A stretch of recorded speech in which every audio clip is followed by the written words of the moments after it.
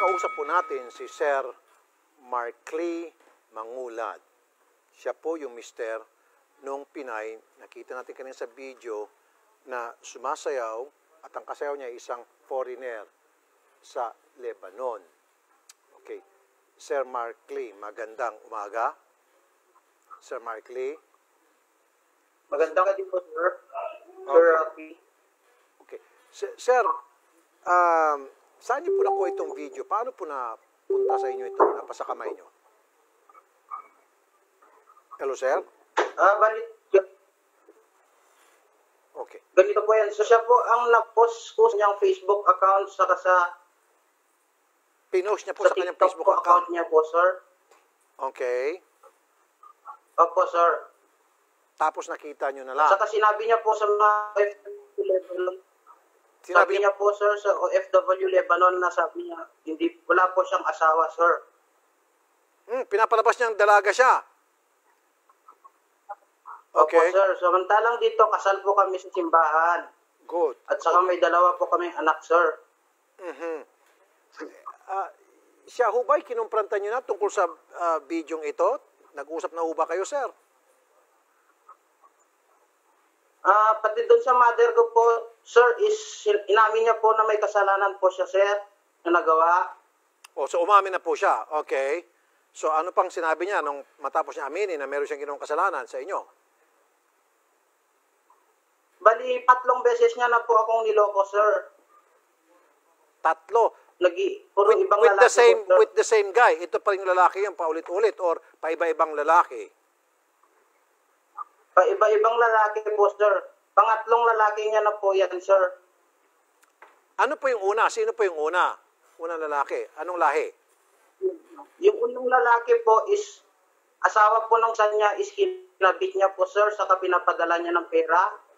Ah, yung una, Pilipino, pinapadala niya ng pera na may asawa. Opo, kapitbahay lang po nila, sir, sa may Solana, Cagayan. Okay, kapitbahay sa Cagayan. Yung pangalawang lalaki, nagkasaan naman? Pakistan, Pakistani po, sir. Pakistani. Tapos nagvi-video call sila. Nagvi-video call po sila through video sex po, sir. Sex video. Oh, shoot. So, Opo, sir. itong pangatlo, Sinesend po sa Opo. akin nung Pakistani. yung Pakistanis, pinapadalang ka ng sex video nila. Parang ng asar pa. Opo, sir. And then itong Opo, pangatlo, sir. Pinapadalan Lebanese. po ako nung... Yung last po is... Yung itik na po yan, sir. Ano pa? Yung last Yung pa, last po na lalaki niya na po nakalibig ngayon is yung itik po, sir. itik? Yung Indiano. Ah, ah, Indiano. Okay. Alright. So, Indiano. Now, three times na ho siya nagkasala at sinabi niyo po yan sa kanya, ano po naging reaksyon niya? Nung pangalawa po, sir, pinatawad siya para upang magbago. Tapos, kung lumapit po ako sa inyo, nung pangalawang beses niyang akong niloko, tapos sabi, sabi niya po, mag, nagmakaawa po siya sa akin na magbabago na siya at di niya na po uulitin. Hmm. Kaso po, ang ginawa niya, inulit niya po ulit, kaya pinagpatuloy ko po yung, yung ipapalapit ko po sa inyo, Sir Rafi, yung mga problema ko. Okay. Sir, maka ilang beses na namin ito na pag-usapan ni Atty. Garrett, ah, since sa ibang bansa nangyari itong bagay-bagay na napapanood natin ngayon, eh, the, second and the third time na meron siya nagawang kalokohan, eh, hindi po saklaw ng batas natin. Wala tayong pwedeng maipato na parusa or siya ay makasuhan. However, pwede natin ito ilapit sa mga kinaukulan natin dito para tulungan tayong makipag-coordinate sa bansa na kanyang kinaroonan, Lebanon, which is a Muslim country, hindi ko konsinti niya na siya po'y mapadeport. Ano pa mo gusto niyo mangyari, sir? Opo, sir. Ano pong gusto niyo mangyari? Deportation po, sir. Deportation, saka po matanggal yung ano namin sa kasulatan namin sa kasal, saka makulong po siya sir, saka sa akin yung custody po ng dalawang bata, sir. Ah, so gusto niyo po mapawalang bisa ang kasal ninyo, annulment. Opo, sir. Okay. sa mga ebidensya ipapakita niyo po, sir, talagang lalong lalakas po yung kaso ninyo nang sa gayon mapapabilis yung annulment process. Okay? Pwede po natin gamitin yung mga video yon. Ano naman po ang sabi po ng nanay niya at nanay niyo? Ah, bali ganito po yan, sir. Nung last week po, pumunta ako sa bahay nila. Tumatawa lang po yung kanyang magulang, sir. Tinatawanan ka lang. Parang wala lang po sa kanila yun. Okay. Ito Opo, ngayon po, sir. sir, ang malagang tanong. Ito po yung malagang tanong. Siya ho ba hanggang ngayon nagbibigay pa rin ng suporta para sa dalawang anak nyo? Wala na po, sir. Bali, hira po siyang hindi nagpapadala po sa amin, sir. Gaano na katagal di po siya nagpapadala? Ano na po, sir? Ano pa? Magwa one year na po, sir. Ah, di kung ganun pala, dapat talaga mapauwi na siya. Ibig sabihin, wala na siya pakinabang, wala nang probitsyo. Eh, bakit pa siya pumunta ng ibang bansa? Eh, kung wala pala siyang may ambag na tulong sa pamilya mo. Pinaalis na po siya ng dati niyang amo, sir, kasi nahuhulihan po silang nagmamanyakan daw po ng asawa po nung amo niya, sir. What is yung amo niya po na babae is attorney din po, sir, sa Lebanon. Okay. Sandali lang, ha? Makakausap natin si Attorney Hans Kakdak ng OWA. Attorney ah, Hans, magandang umaga po. Magandang umaga, Sir Rafi, sa inyong mga tagapakinig, tagapanood. Magandang umaga rin po. po. Sir, ito pong si ah, Sir Mark Lee, three times na pala, three timer na itong kanyang misis na paulit-ulit niloloko siya at hindi nagpapadala ng so pera for one year na at nasa Lebanon po ito at ito may mga video pa na nagipag ah, ah, relasyon sa mga ibang lahi. Ang gusto po ni, ni ah, Sir Mark Lee ay mapadeport. Makakatulong ko bang OWA? Sige, Sir. gagawin natin dyan, Sir Rafi, ay patatawag natin si, ano ko pangalan nung OFW? Ah, Donica Bakiran po, sir.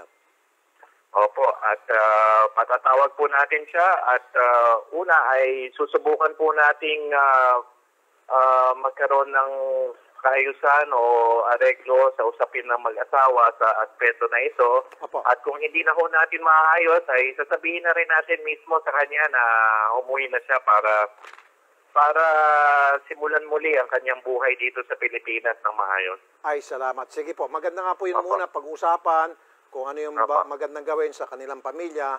And then since hindi naman talaga siya nagpapadala ng pera, then bagay umuwi, uwi na lang. Sige po sir, ganun na lamang po sir. So ihuka po Yes namin siya po, sa sir. inyo. Ah, ngayon pa lamang kami po ay nagpapasalamat. Attorney Hans Kakdak ng OWA, mabuhay po kayo sir. God bless po. Yes, ako rin po yung nagpapasalamat sa inyo, Sir Rafi. Patuloy lang po tayo sa pagsiservisyo. Thank you po. Okay. Pwede ba natin makita yung video? Ano ba yung video na naglalakad? Eh, ah, Pwede ba yung pakita yan? Ano ba yung naglalakad?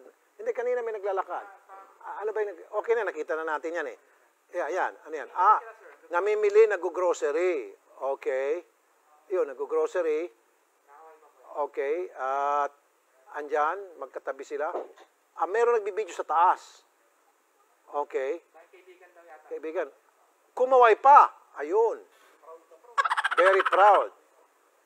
I'm a proud kabit. I mean, sorry. I'm a proud other woman. Ayun, naglalakad pa. Ito naman, gabi na naman. Nako po. Okay. Ah, sir, sino nandiyan? Nanay? Nanay nung OFW. Nay, Nanay Dali, magandang hapon. Ay, umaga. Magandang umaga, Nay. Nay, Sino to? Sino to? si Rafi Tulfo po, Nay, sa TV5. Sino po to? Si Rafi Tulfo po, Madam. Rafi Tulfo po. Ay, ah, sige, bakit po? Apo. Ah, yung anak niyo po kasi, eh, tatlong beses na pong ah, niloko. Ito pong ah, inyo pong ah, manugang. Nay, Na, oh, bakit po? Naka, narinig ko yung boses no. Sige, kausap kayo lang. magsalita lang ako. Nakakit ako. Opo, bakit ito naging pagrelasyon yung inyong anak sa isang foreigner doon sa Lebanon, gayon may asawa siya rito at hindi na nagpapadala ng suporta sa loob ng isang taon? Nay? Sige, sige lang po. Narinig ko yun. Okay. Ta- tinis Okay, lang ako po. du- dugtugan ko pa. At Kasi, alam mo, eh, na-high blood ako. Apa. Naka, Naka, nakaupo lang ako kanina. Eh, may naririnig ko lang tumatawag. O yun, sinagot ko. Opo, opo, Nay. Nay, kinukonsinti niyo raw po na yung maling gawain ng inyong pong anak? Tama ba, Nay? Mali. Ewan ko po, hindi ko naman na alam, hindi ko naman nakikita yung ginagawa na nga, sir. Hindi niyo pa anak alam ng ginagawa ng anak niyo? Hindi ko pa nakikita, me. Hindi ko naman na nakikita yung mga Facebook, ma'am. Eh, sir, eh, Ma'am, may, may, Yung- tele- may television kayo, Nay? Nay, may TV kayo? ha? May TV po kayo? Wala pa. Eh, kandila kami lang yung, ano namin. Okay, meron kayong Facebook? May, you, may Facebook, meron kayong Facebook o YouTube? Wala po. Wala Eh, rin. so yung- Walang wala maliit- cellphone, tapos walang TV. ng cellphone ko, sir. Apa. Eh, hindi ko naman marunong magamit ng bago ng cellphone ng ano. Nga. Yung puso na malalaki, sir. Okay, sige. Ma'am, ganito na lamang po. Ayun, Ah, sir. gusto lang po namin iparating sa inyo na yung anak po ninyo ipapadeport po namin dahil ito po ang request ni Mark Lee. Madideport na po siya. Pinakamataas na po siguro mga dalawang linggo andito na po sa Pilipinas. Ano masasabi niyo po, Nay? Okay ba sa inyo, Nay? Uh, parig ba kayo na madideport yung anak niyo? Nay? Po. Okay ba sa inyo na ipapadeport namin yung anak niyo? Ano pong reaksyon niyo? Eh, paano ko naman masasagot? Eh, hindi ko naman ang alam ng ginagawa na, sir. Hindi nga, Nay. Ito, alam nyo na, yung ginagawa niya at siya pa yung mapapadeport namin, pakisabi na rin sa kanya, ano po maging reaksyon nyo at reaksyon niya. Paano ko naman ang action doon? Eh, hindi ko naman alam, hindi ko naman ang alam ng ginagawa niya. Hindi ko naman nakikita naman ginagawa niya. Hindi nga, Nay, madideport na nga po. Pakisabi po sa kanya, Nay, ha, na siya po ipapadeport namin. Okay, Nay? Kausap ko lang po kanina yung OWA. Tutulong po yung OWA na para siya mapabalik ng Pilipinas. Okay, Nay? Yun lang po. Pa, pakiparating na sa kanya. Okay, Nay?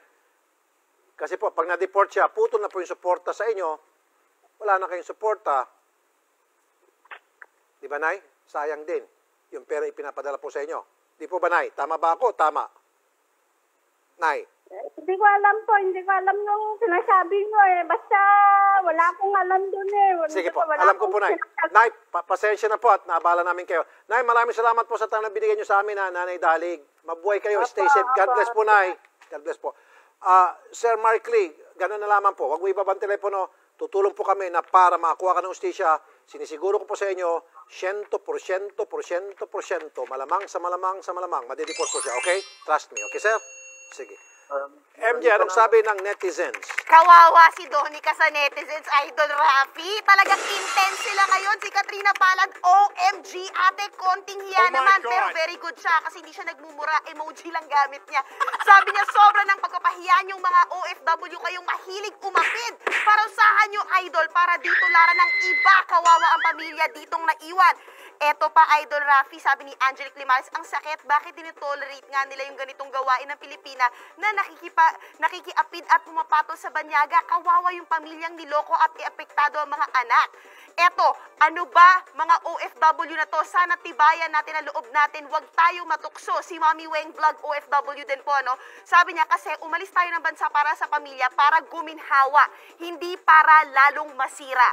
Napakaganda na sinabi niya, Idol. So, eto yung sinasabi ng mga keyboard warrior natin. And just to close this, sabi ni Mapa Ryan, kaya ang daming OFW na nagiging pasaway. Kasi nga, ayon sa batas, di pwedeng kasuhan kasi sa labas ang inirereklamo. Sana makita raw nila no, kung paano maayos yung butas na ito. So yan ang ano, sabi ng ating mga netizen. Balik sa inyo, Idol Rafi. Salamat, MJ Marfori.